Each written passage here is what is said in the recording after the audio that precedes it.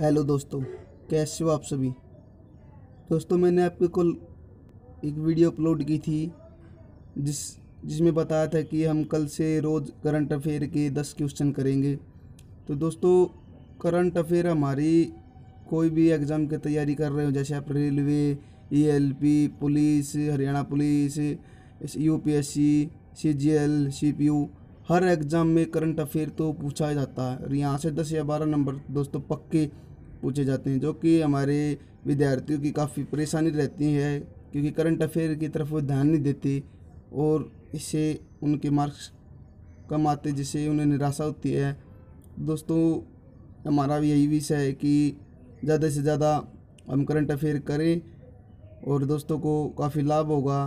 तो दोस्तों, पहले तो हमारे कारामाजू एच एस सरकारी नौकरी को आप सब्सक्राइब कर लीजिए, क्योंकि यहाँ पे मिलेंगे आपको रोज़ करंट अफेयर की वीडियो और सरकारी नौकरी से रिलेटेड कोई भी हर जानकारी। तो चलो दोस्तों, हम देर ना करते हुए अपनी पहला क्वेश्चन को स्टार्ट करते हैं।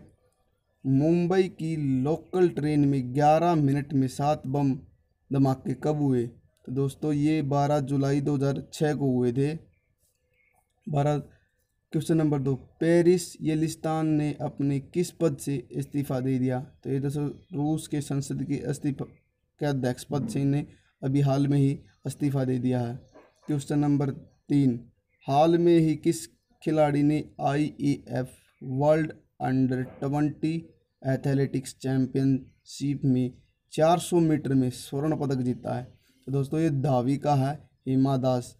तो हमारी इंटरनेशनल लेवल में पहली बार एथलेटिक्स दाविका ने स्वर्ण पदक जीता। है ये हमारे लिए बहुत गर्व की बात है दोस्तों। क्वेश्चन नंबर चार। और ये दोस्तों क्वेश्चन मोस्ट इम्पोर्टेंट हो सकता है। आप इसे तो याद पक्का कीजिए। एबल पुरस्कार की शुरुआत कब हुई थी? तो दोस्तों, ये एबल पुरस्कार की शुरुआत हुई थी अगस्त 2001 में। क्वेश्चन नंबर पाँच। हॉलीवुड पहली बार कब लिखा गया था। तो ये तेरह जुलाई उन्नीस सौ तेईस को हॉलीवुड पहली बार लिखा गया था question number six, Scottish church college कब शुरू किया गया? तो ये दोस्तों तेरह जुलाई अठारह सौ तीस को शुरू किया गया था। हाल में ही किस देश ने ड्रग्स की तस्करी एवं ड्रग्स से जुड़े अपराध करने वाले को मृत्यु की मंजूरी दी थी। तो ये दोस्तों श्रीलंका ने ये क्वेश्चन भी आप याद रखिए, क्योंकि आने की पूरी पूरी संभावना है। कृत्रिम वर्षा के लिए किस का प्रयोग किया जाता है, ये तो दोस्तों आपको पता ही है।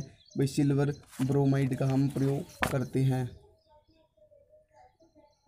हमारा क्वेश्चन नंबर नौ। संयुक्त राज्य अमेरिका के पहले राष्ट्रपति कौन थे? तो ये थे दोस्त, जॉर्ज वाशिंगटन। शतरंज बोर्ड में वर्गों की संख्या कितनी होती है?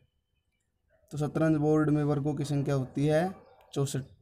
और दोस्तों, आज हमारा, हम आपसे दो क्वेश्चन करेंगे जो कि आपको उनका जवाब कमेंट्स बॉक्स में देना है। ये आप अपना होमवर्क ही मान लीजिए। तो आज का हमारा, हमारे दो क्वेश्चन हैं। भारत की राष्ट्रपति की पर मंथ आय कितनी हो गई है? हमारे ऑप्शन हैं ऑप्शन ए पाँच लाख। ऑप्शन बी साढ़े पाँच लाख। ऑप्शन सी चार लाख। या ऑप्शन डी छः लाख रुपए। हमारा ये दूसरा क्वेश्चन है कि उपराष्ट्रपति की आय हाल में कितनी हो गई है पर मंथ? तो इसके भी ऑप्शन हमारे हैं साढ़े चार लाख रुपए, पाँच लाख रुपए या चार लाख रुपए या तीन लाख रुपए। तो दोस्तों, ये थी आज हमारी करंट अफेयर का पहला पार्ट ये वीडियो आपको कैसी लगी? कमेंट्स में ज़रूर बताना है। दोस्तों और इसे शेयर कीजिए अपने दोस्तों के साथ और क्योंकि दोस्तों ज्ञान बांटने से बढ़ता है। आपने ये वीडियो यहाँ तक देखी। बहुत बहुत धन्यवाद। भगवान आपकी मनोकामना पूरी करे। आपका दिन शुभ हो। Thank you very much